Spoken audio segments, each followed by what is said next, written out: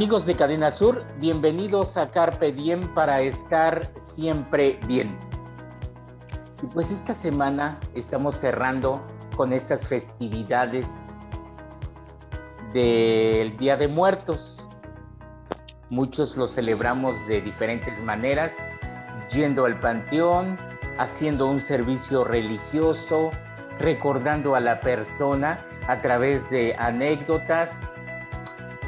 Y bueno, pues eh, eh, qué mejor que para hablar del tema de la muerte, eh, nuestra especialista que esta noche nos presenta este tema que tienen ustedes en pantalla. La muerte, una inspiración para la vida. Y pues está aquí con nosotros la psicóloga Rosa María Hernández, a quien esta noche le damos la bienvenida aquí en Carpe Diem. Rosy, ¿cómo estás? Bienvenida. Muy bien, Abel, muchas gracias. Contenta de estar aquí de nuevo con ustedes. A mí este es como un reto de poder hablar sobre cosas importantes o interesantes que nos sirven para, para vivir. Pues eh, Rosy, eh, eh, la muerte nos inspira o por lo menos debe inspirarnos para, para vivir de una manera más plena? Pues debe inspirarnos para vivir de una manera más plena, porque la muerte es algo que tenemos seguro. Es algo que tenemos seguro. Y para iniciar el tema, encontré, fíjate, más bien me encontró. Me encontró un poema de Netzahualcóyotl que es nuestro rey, rey y poeta, y él se dedicaba, además de ser un guerrero, al estudio de lo divino, del humano y del universo. Y digo que él me encontró porque apareció, ¿no? Entre algunas lecturas, en algún momento, y entonces apareció. Y se los voy a leer. Adelante, Rosy. Yo lo pregunto, yo, Netzahualcoyot, ¿Acaso de veras se vive con raíz en la tierra? Nada es para siempre en la tierra, solo un poco aquí. Aunque sea de jade, se quiebra. Aunque sea de oro, se rompe. Aunque sea plumaje de quetzal, se desgarra. No para siempre en la tierra, solo un poco aquí. Y me parece que este, este poema pues nos está diciendo qué es lo que va a pasar. Que sea lo que sea, así sea de oro o de jade, se va, se va a terminar. Que hay una finitud. Que quizás es difícil, porque Freud decía que la muerte no se puede representar en nuestra psique. Eh, cuando hablamos de agresión o envidia, etcétera, decimos que es estructurante porque nacemos con esas emociones, todos los seres humanos lo tenemos. Y lo podemos representar en nuestra mente, tenemos como una representación, pero la muerte no. Y quizás la muerte nos lleva a mucha angustia, mm. porque no sabemos qué va a pasar después de la muerte.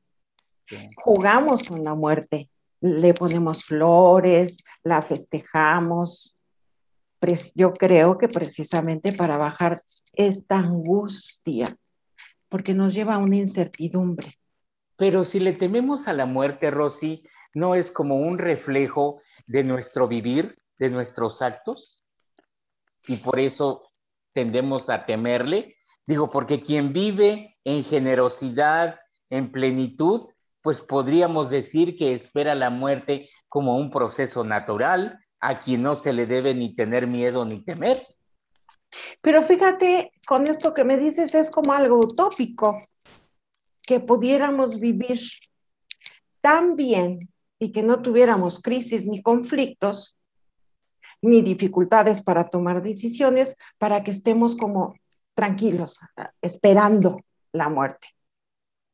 ¿Y cómo nos damos cuenta de que esto es utópico? Bueno, yo así lo veo. Cuando alguien muere, cuando un ser querido muere, eh, nos recuerda que somos finitos. Y viene una angustia, y una angustia que es desde que nacemos, la angustia de separación, de separación de nuestra madre, de saber que aquí que hay una indefensión. Cuando alguien se muere nos remueve mucho esta parte y también nos lleva a ver que nosotros también nos vamos a ir. Surge la angustia. Tú dices, sí, pues sería excelente decir, yo he vivido tan bien que no me asusta la muerte. Pero la muerte siempre asusta. Y, en, medio de todas estas reflexiones, tal vez convendría preguntarnos, ¿y entonces, Rosy, qué es la muerte? Híjole, pues la muerte tratamos de explicarla. Elizabeth Kubler-Ross dice que es un nuevo amanecer. Eh, ¿Quién más? Um, Platón dice que es un ejercicio para la muerte, la vida. Pues se dicen tantas cosas que más que una vez que moramos vamos a estar en presencia del Señor y que allí no va a haber sufrimiento. Nos damos muchas explicaciones. Yo considero que es para no llegar a la angustia. O sea, este tipo de concepciones ayuda a, a, vivir de una manera que podamos evitar eso, ¿no? El temor, el miedo. Bueno, fíjate, Jesucristo en el monte de los olivos, corrígeme, él le dice a, Dios, ¿por qué me has abandonado? Yo pienso, allí tuvo temor de morir. Claro que lo aceptó cuando dice, bueno, mi tiempo se ha consumado, que es una parte de aceptación. Entonces, pues si él, Jesucristo, un ser divino, tuvo temor, así es como yo lo interpreto. Pero además la vida nos va ayudando a aceptar la muerte. Elizabeth Kubler-Ross habla de estas fases de, del duelo, que es la negación. Cuando somos muy jóvenes o muy chicos, pues negamos que exista la muerte. Es más, jugamos con la muerte. Después aparece una ira, ¿por qué me de morir? Y nos da temor a morirnos cuando estamos en el mejor de nuestros momentos. Pero después, conforme vamos avanzando, la vida va avanzando, llegamos a una negociación, a decir, bueno, ¿qué he hecho en la vida? ¿Cómo me ha ido? ¿Qué, qué voy a dejar? Etcétera. Y viene una depresión y al final una aceptación. O sea que también, como decía Platón, es un ejercicio para la muerte, porque además es el último de nuestros sentidos. El sentido de la vida, el último sentido es la muerte. Necesitamos encontrar sentidos en este transcurrir de la vida para que esta muerte, que es inevitable, mm, podamos como aceptarla un poco más. Necesitamos encontrar sentidos en esta vida. Me gustó mucho esta reflexión, Rosy, porque está relacionado con el título de la muerte, una inspiración para la vida. Pero aquí la pregunta sería, ¿y cómo encontrar ese sentido para nuestra existencia, Rosy? Pues mira, parece ser que los sentidos no se encuentran. Así lo considero como esto que encuentro, estos poemas, me encontró. Porque es un poco, yo diría, la vida te da lo que necesitas, confiar en la vida. Y que van apareciendo estos sentidos. Tan fácil como que tienes un hijo es el sentido de criarlo. Pero después que, lo, que ya ese hijo está saliendo, entonces, ¿qué voy a hacer conmigo? ¿Qué le voy a dar yo a la vida? Creo que por allí podemos encontrar. Ahora, ¿qué le voy a dar yo a la vida? ¿Qué voy a entregar de mí? Y esto es como algo, como un ejercicio espiritual, digamos. Y fíjate que hay algo que una Momo decía, que en esta vida debemos hacer un alma. Me gusta esta reflexión de hacer un alma porque es, ¿qué vas a dejar aquí? Eh, se nos dice que nacemos con un alma y un espíritu. Estoy de acuerdo. Pero esta reflexión de este personaje es qué construyo en esta vida. Entonces, puedo hacer un alma desde, ese, desde esta concepción que él lo dice, un eh, me parece, me gusta. Y es buscar qué me acomoda, qué quiero para poder vivir y que cuando yo me vaya, que sé que me voy a ir, algo se quede aquí, en el recuerdo, en los corazones, en las personas, que se oye muy romántico, que toqué, ¿no? Que tocamos. A ver, Rosy, ¿cómo nos gustaría eh, que así como te encontraron los poemas de Netzahualcoyotl, pudiésemos retroceder en el tiempo y escucharlo de manera personal y hablar con él y entrevistarlo y, y todo ello, pero bueno, no es posible. Creo que tienes por ahí otro poema también relacionado con la muerte, ¿verdad? Sí, sí, esto lo quiero dejar al final como para hacer algunas reflexiones sobre este poema y que nos habla de la vida. Entonces, si te parece, vamos a hacer una pausa comercial aquí en esta noche de Carpe Diem, en el que la psicóloga Rosa María Hernández nos está hablando de este tema, la muerte, una inspiración para la vida. Regresamos en breve y eh, retomamos estas reflexiones que eh, nuestra especialista el día de hoy está haciendo sobre la muerte a propósito del Día de Muertos aquí en nuestro país. Regresamos en breve aquí en Carpe Diem para estar siempre bien.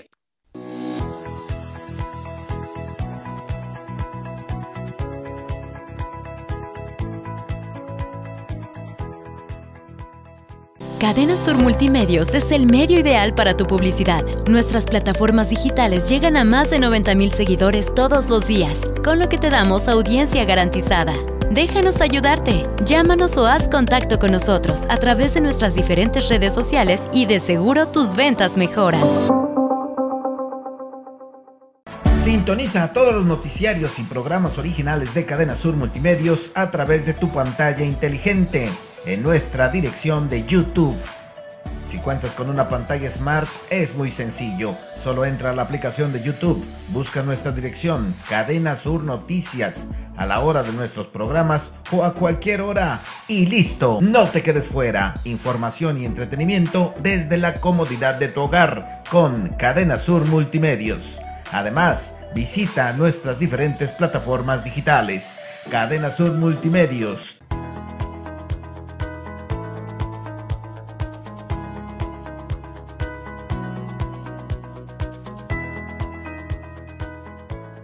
Amigos de Cadena Sur, regresamos aquí en Carpe Bien para estar siempre bien.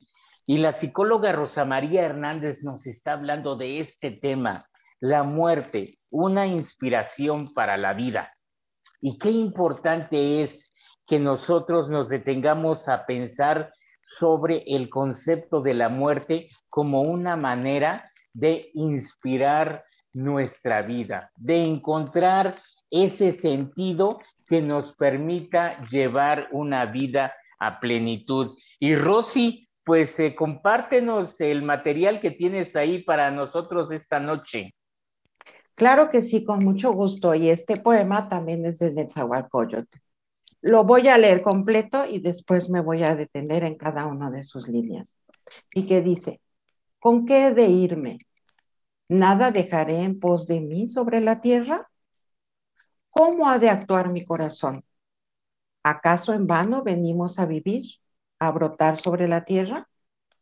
Dejemos al menos flores, dejemos al menos cantos. Y entonces es como reflexionar, ¿con qué de irme? Bueno, no me voy con nada objetivo, con ningún objeto. Bueno, pues ni con mis zapatos me Solo me voy con aquello ¿qué hice aquí? Con la seguridad de que aquí me recordarán, de que algo hice en esta vida que me van a recordar. Nada deja, la segunda es, nada dejaré en pos de mí sobre la tierra. Eso, ¿qué voy a dejar aquí? Como en estas memorias, en estos corazones, ¿qué voy a dejar? Entonces es cuestionarnos cómo es mi actuar, cómo me estoy comportando ante los demás, cuál es mi búsqueda y cómo la comparto con los demás. ¿Cómo ha de actuar mi corazón? Y es cómo actúa mi corazón. ¿Cómo actúo desde el amor, desde el desamor? ¿Tengo miedo a amar? ¿Cómo estoy actuando? Desde el amor. Conectarnos desde el amor. Desde, aún en las crisis son las cosas más difíciles, ver las cosas con amor. Dice, ¿acaso venimos en vano a brotar sobre la tierra? No, no es en vano que estamos aquí. Estamos aquí para algo, para, no nada más para poblar un mundo, sino para dejar cosas. Y dice, dejemos al menos flores, al menos cantos. Y es esta parte de compartir. Fíjate que ahorita me viene a la mente un chico que es muy joven, él es un ingeniero y acaba de tomar la decisión de cambiarse de su, cambiar su trabajo. Es un hombre exitoso, le va bastante bien. Entonces aquí yo lo veo como encaminado a un sentido de vida maravilloso.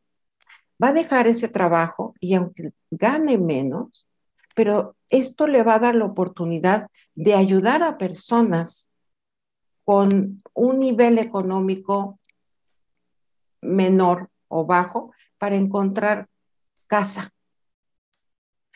A mí me parece que esto está hablando de un chico que está formando su alma y que va a dejar muchas personas tocadas desde de este deseo de él de ayudar, de dejar algo. Rosy, cuando te escuchamos eh, profundizar en todos estos conceptos sobre la muerte, nos preguntamos, entonces lo que cuenta en la vida es como invertir en experiencias y no en cosas.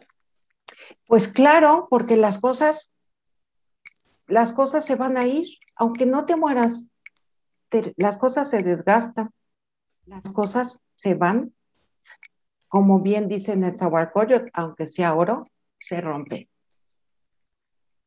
Aunque sea jade, se quiebra. Las cosas, bueno, se gastan, nos cansan. Porque invertir solo en, los objetos nos deja un gran vacío. Porque hoy tenemos una cosa y o se gasta o nos cansa. Y ya lo cambiamos por otra cosa. Eso no es lo que nos llena. Eso no es lo, que nos lleva a enriquecer nuestra alma, ¿no? A ser nosotros mismos. Ahora bien, eh, pues eh, lo que hemos visto, Rosy, gente que al final de la vida es cuando aparecen todas las virtudes y cuando pareciera que después de la muerte es cuando viene la verdadera vida porque se le recuerdan sus obras, se le recuerdan sus dichos, se le recuerdan sus, sus, aportaciones, su, su generosidad. Oye, ¿es necesario morir para, para vivir? Pero fíjate que es, que es algo positivo, es algo positivo. Yo a veces digo, ay, este, tengo una plática o tengo una entrevista o algo, y si me equivoco, ay no, pero no pasa nada, a mí me sirve de consuelo, pues me muero, me caigo muerta allí, ¿no? Lo peor que me puede pasar es caerme muerta. Y entonces van a decir, pero mira qué inteligente era, pero mira qué buena. Entonces, bueno, pues nos da hasta cierta seguridad, ¿no? Yo, yo, yo diría, porque pues claro, tiene que salir todo lo positivo. Y qué bueno, y qué bueno. Y por otro lado, pues hay gente que podría escribirse en su epitafio, fulano de tal, eh, nació en 1950, falleció o murió en, en el 2000 y lo enterramos en el 2010 es decir, gente que pues antes de ser inhumada, antes de dejar de respirar, ya, O sea, ya está muerta, ya no hay nada que, que hacer. No sé si, si me explico en qué enfoque le, le estoy dando, ¿no? Eh, Tú dices como cuando las personas gastan su vida. Más bien cuando ya no tienen lo que tú dices, las metas, los objetivos, el sentido de la existencia, ¿no? Entonces ya nada más vegetar.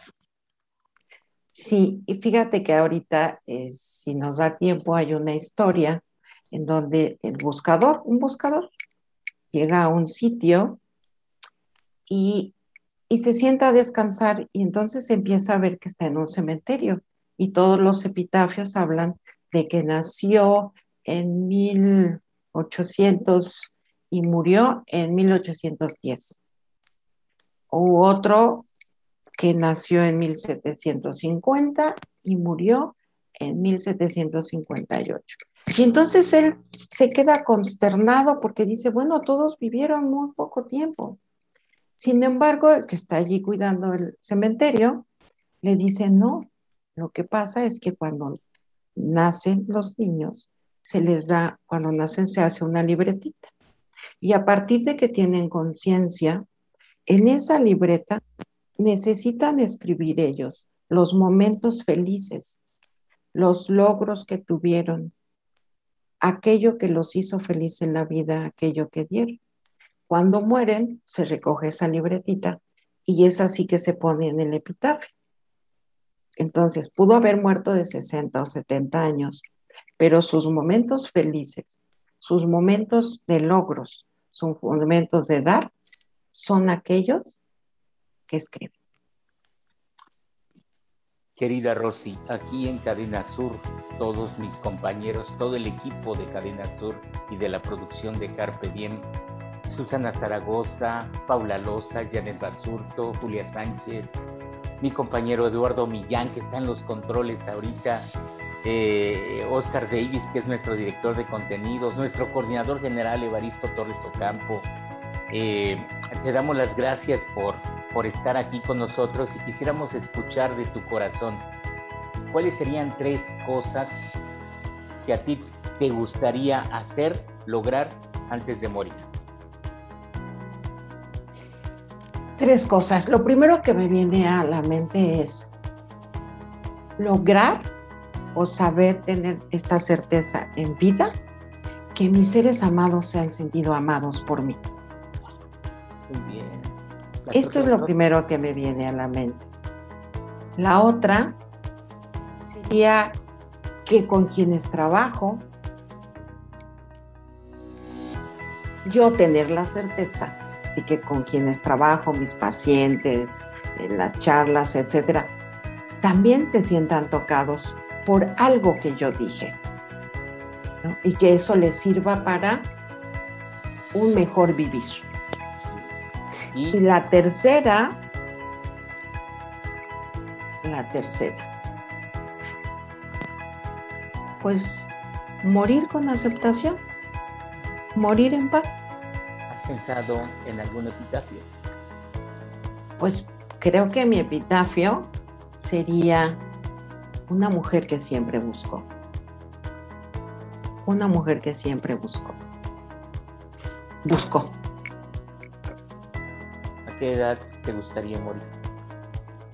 No lo sé. No lo sé porque eso yo pienso que llega en su momento como todos decimos, morir con conciencia. Pero más que nada es morir cuando deba morir. ¿Quiénes te gustaría que estuvieran en tu lecho de muerte, de tus seres queridos? Bueno, fíjate cómo toca esto que tú dices, esto toca. Pues mis hijos, mis nietos, mi pareja, por supuesto, ¿no? Primeramente mi pareja. A lo mejor digo mis hijos, mis nietos, pero él es indispensable. Él es, él es el, él es lo principal. Y mis hijos, mis nietos. Creo que eso me gustaría que estuvieran allí, por supuesto. Rosy, tú sabes que eres un pilar de este proyecto de Carpe Diem.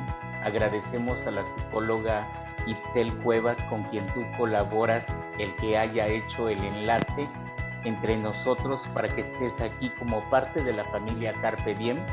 Ansiamos el momento en que puedas estar presencialmente en el estudio y puedas seguir regalándonos tus conocimientos, tus reflexiones, todo, todo tu ser. Gracias, gracias por estar con nosotros, querida Rosy. Muchas gracias a ustedes por, por permitirme este espacio, que además de poder transmitir, me tocan, me tocan profundamente. Muchas gracias. Gracias a ti.